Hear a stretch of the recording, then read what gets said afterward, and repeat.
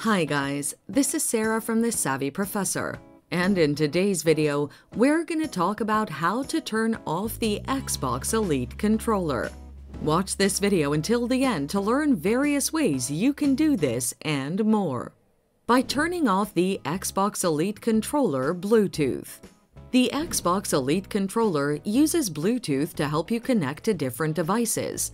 Therefore, you can turn off the Xbox Elite controller by switching off the Bluetooth, which will turn off from lack of activity.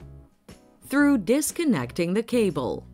Disconnecting the Xbox Elite controller cable is one of the easiest ways to switch it off.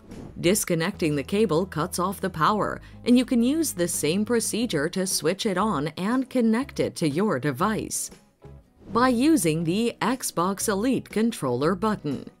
Your Xbox controller has a button on the bottom side that you can use to switch it off.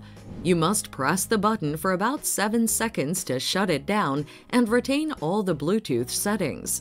Pressing the button is the safest way to switch off your Xbox Elite controller since it helps protect your data. So there you have it. You can use these three steps to help you turn off your Xbox Elite controller. Thanks for watching. Till next time.